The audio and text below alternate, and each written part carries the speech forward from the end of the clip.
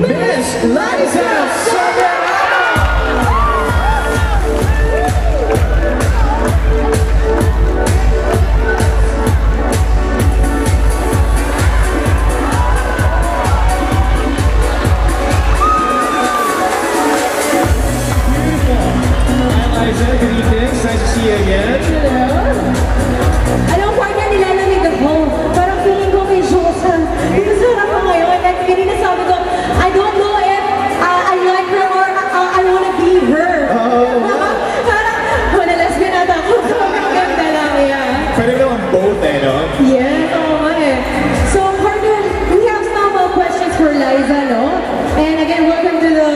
Spence National Doodling Day 2017. So, Liza, how do you feel being part of this event?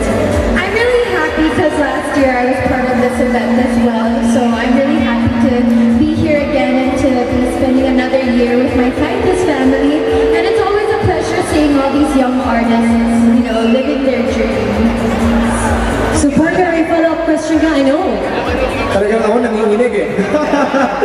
so what do you love about Titus Fan?